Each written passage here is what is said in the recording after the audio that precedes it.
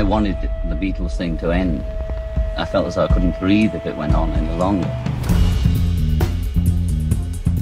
We got this phone call that there was a rock and roll revival show and that Chuck was going to be there and Jerry Lee was going to be there and up the great rockers who were still living.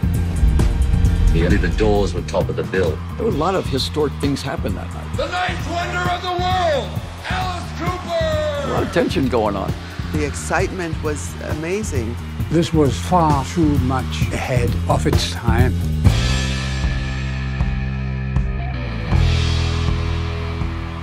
The music was important. You could see they were digging it. If you watch the old guys, when they hit that stage, they brought it like it's the last show you're ever going to do. The guys that originated everything, the heroes. A week before the show, tickets were not selling. All of a sudden, the show's going to be canceled. Is John Brower calling? And we would like to invite John and Yoko to be the MCs. Sounds about good, this Canadian thing. If John Lennon doesn't show up, I am ruined.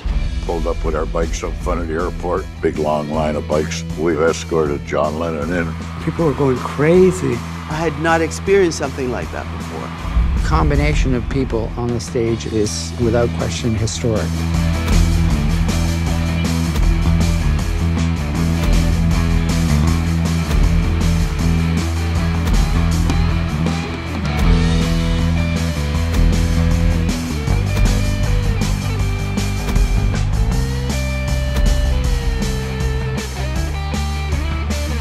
Was almost a non event until all of a sudden it was the biggest thing in the world.